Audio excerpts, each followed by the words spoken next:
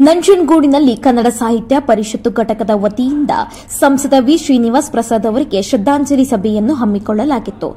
ಸಂಘದ ಕಚೇರಿಯಲ್ಲಿ ಚಾಮರಾಜನಗರ ಸಂಸದ ವಿ. ಶ್ರೀನಿವಾಸ್ ಪ್ರಸಾದ್ ಅವರ ಭಾವಚಿತ್ರಕ್ಕೆ ಪೂಜೆ ಸಲ್ಲಿಸಿ ಪುಷ್ಪಾರ್ಚನೆ ಮಾಡಿ ಮೇಣದ ಬತ್ತಿ ಹಚ್ಚಿ ಮೌನಾಚರಣೆ ಮಾಡುವ ಮೂಲಕ ಶ್ರದ್ದಾಂಜಲಿ ಸಲ್ಲಿಸಲಾಯಿತು.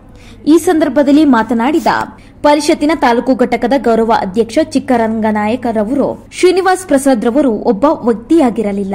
ಒಂದು ಶಕ್ತಿಯಾಗಿದ್ರು. ಕಳೆದ ಐವತ್ತು ವರ್ಷಗಳ ಸುದೀರ್ಘ ರಾಜಕಾರಣದಲ್ಲಿ ಆರು ಬಾರಿ ಸಂಸದರಾಗಿ ಕೇಂದ್ರ ಹಾಗೂ ರಾಜ್ಯದಲ್ಲಿ ಸಚಿವರಾಗಿ ರಾಜ್ಯಕ್ಕೆ ಹಲವಾರು ಕೊಡುಗೆಗಳನ್ನು ನೀಡಿ ಶೋಷಿತ ಹಾಗೂ ದಲಿತರ ಧ್ವನಿಯಾಗಿದ್ದರು.